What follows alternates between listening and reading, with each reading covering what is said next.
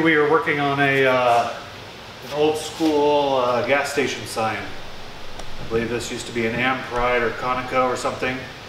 And uh, we are putting what they call Mammoth Station. Changing it out. So someone bought an old gas station, brought it, they kind of got rid of the inside of the sign, and we're going to put a uh, new cover on it. So.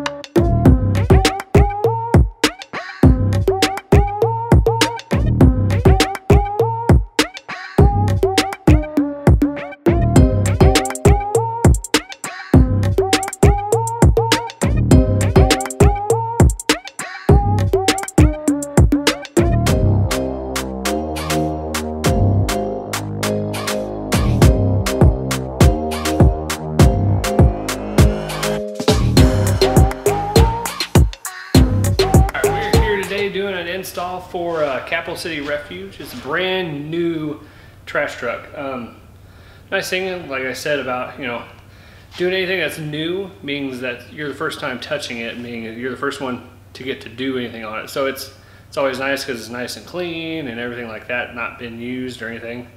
So, but yeah, take a look.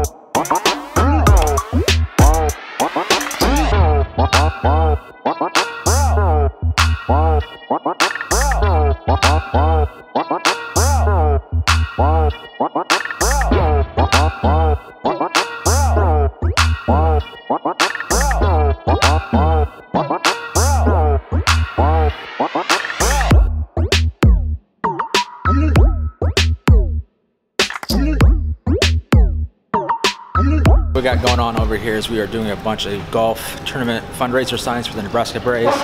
They have a tournament coming up here, so we were just putting these uh, signs up. Uh, they're going to be placed at all the holes around the golf course, just thanking their advertisers and their sponsors throughout the year.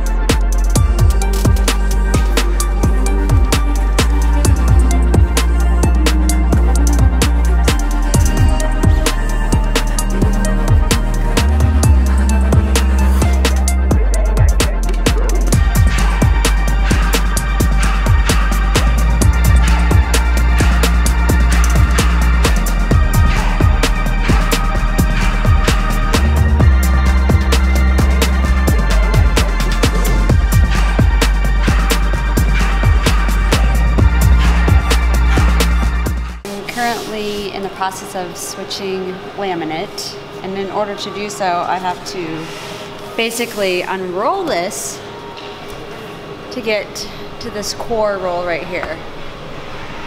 So, I'm printing some logos and services and contact information for some installs that we're going to be doing on Monday. So, let's see, we got some graphics and lettering for our van, some storefront graphics, wraps, and lettering, as well as some wall logos and graphics. So, yeah.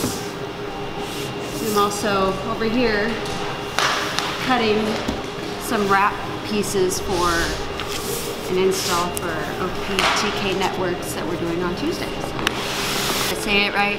Did I do everything right? It's been so long since we've done this vlog. now that I have gotten the backing of the laminate from the last roll off of this tube, I can now work on setting up a new roll of laminate to this tube, which essentially will transfer the backing of this to here as I laminate prints through the laminator.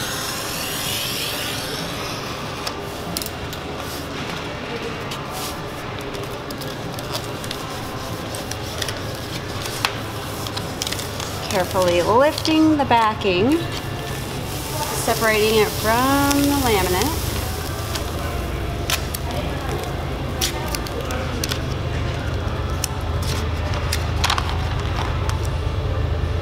Back here, starter scrap piece in.